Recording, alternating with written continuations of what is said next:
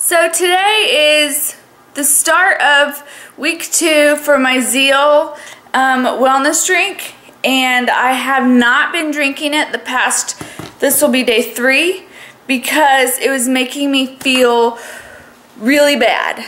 Um, it was making me really jittery and I talked to some people and at first we thought maybe it was um, my body just detoxing and then it just wasn't getting better. I was nauseous. I couldn't sleep very well.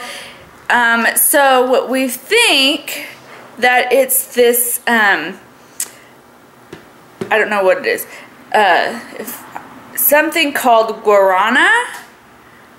Um, and that is why it's like natural caffeine, I guess, kind of it does the same thing to your body that caffeine does. So if you're caffeine sensitive, then you shouldn't have guarana. Well, so I talked to somebody and they are bringing me some guarana free zeal today or tomorrow and we'll see how that goes. I really liked, I lost like four pounds last week, which was really cool um, my appetite was just gone. Um, like I had to force myself to eat.